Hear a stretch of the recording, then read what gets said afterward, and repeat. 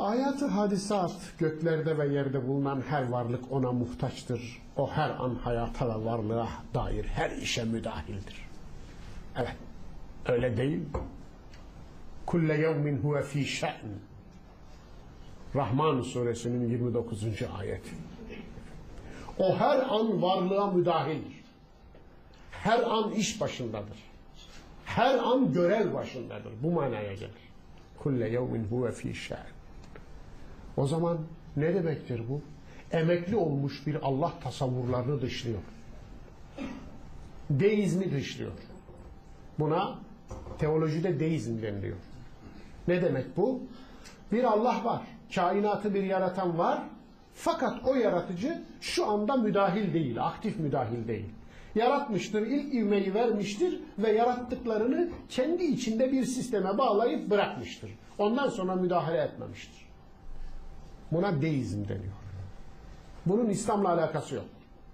Bu ayrı bir din onu söyleyeyim. Deist olan Müslüman değildir. Tamam Tanrı inancı vardır. Allah inancı vardır. O ayrı bir şey. Müşriklerin de vardır. Emekli olmuş bir Tanrı. Hayata müdahil olmayan bir Tanrı. Dolayısıyla ayatı hadisat hayata müdahil olan bir Allah inancının eseridir. Olaylar birer ayettir. Allah olaylara müdahildir, olayların içindedir. Dolayısıyla Allah'ın olaylarla alakasının olmadığını söylemek işte deizmdir. Bu manada Allah'ın olaylara müdahil oluşu ne demektir? Tabii ki burada insan müdahalesini yok sayan bir anlayış değil bu. Hatta olayların oluş biçiminde Allah'ın müdahalesini de, de tetikleyen şey insanların davranış biçimidir. Hani Miraç hadisinde diyordu ya göğe çıkan bir şeyler gördüm diyor Allah Resulü. Yere inen bir şeyler gördüm. Sordum ya Cebrail bu göğe çıkanlar ne? Bu yere inenler, inenler ne? Cebrail dedi ki göğe çıkanlar insanlığın amelleri yere inenler de o amellere yaratılan anında karşılıklar. Ne dehşet değil mi? İnteraktif bir ilişki. Yani o zaman yani işte depremle insan davranışlarının arasında ne gibi bir ilişki var sorusu saçma bir soru oluyor. O zaman toplumsal hercümeçle, terörle, anarşiyle bu toplumun davranışları arasında ne ilişki var? Ne kadar saçma görüyorsunuz değil mi?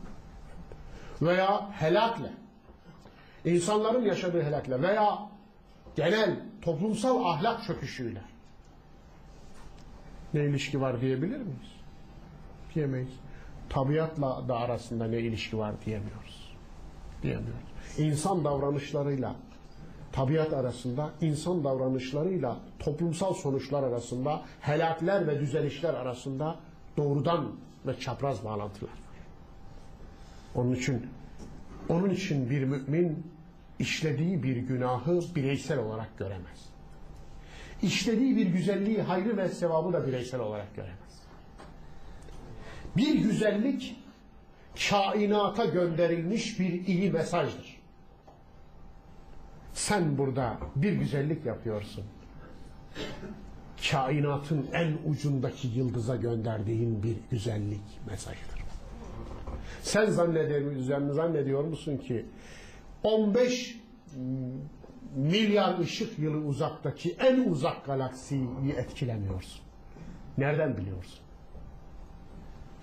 Nereden biliyorsun?